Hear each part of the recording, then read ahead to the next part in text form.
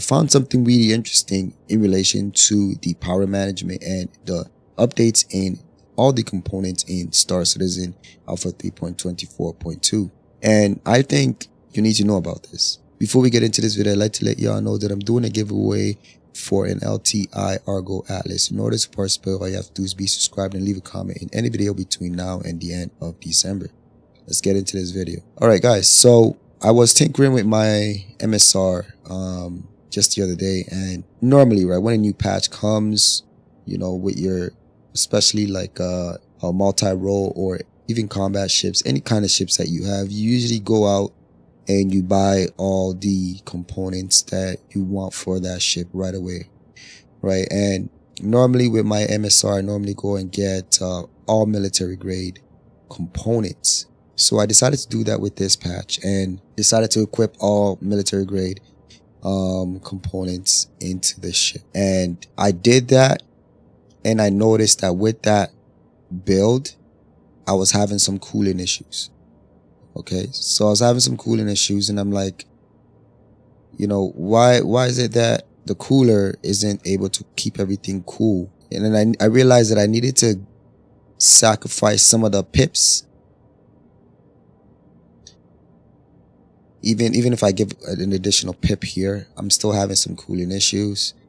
And if I give an additional pip here, um, then it, it addresses the cooling issue. So I need full four bars on each cooler, um, four four pips on each cooler to keep the ship adequately cooled at a sacrifice of um, pips for my weapons and and shields and thrusters as well, right? So so I decided, you know what, let me go and get uh, what's best out there because they made some new updates uh, to the components. So I checked it out on, on the Erkul website and I realized that the industrial components are actually stellar. They're really good with uh, their outputs, better cooling, uh, better power output. So I decided to go and get all grade A uh, industrial components. And that's what I currently have installed right now. All of this is all grade A industrial components. And what I noticed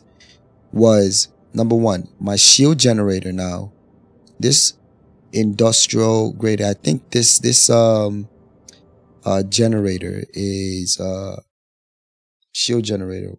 Give me one second. It's now a size three in, uh, the MSR. They updated it to a size three in the MSR, right? So this one is called the parapet.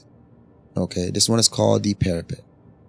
And what I noticed was the parapet as opposed to um, the other one that I had, the military grade one, has a minimum of four pips.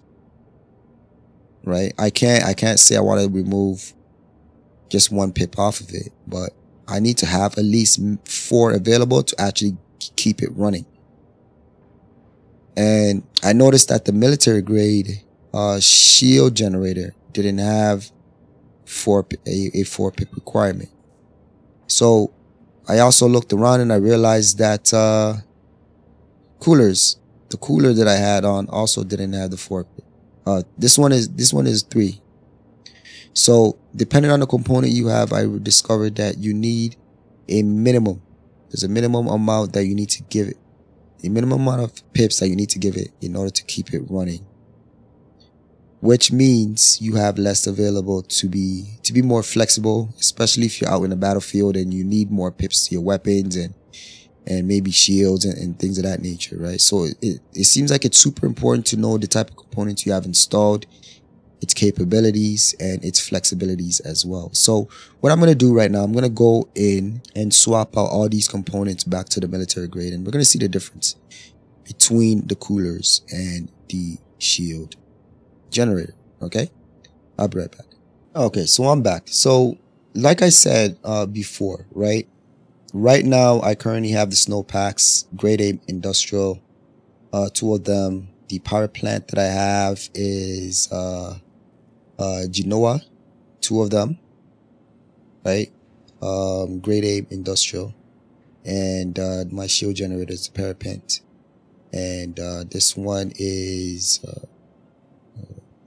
This one is uh, grade A industrial, right? So, um, so that was the current setup that you just watched. I'm going to be swapping out to the grade A in, uh, military. Okay, so swapping these out. Um, I'm going to go with the quadracells, which is grade A military as well. And I'm going to go with the avalanches, grade A military. Okay. I'm going to save that. Okay, so I am back. So, um, so now I have the military grade items now installed, right? And for some reason, only one of the military grade uh, coolers was installed and the um, industrial one remained. So now you can see as an example, right? The industrial one requires a three pip to actually run.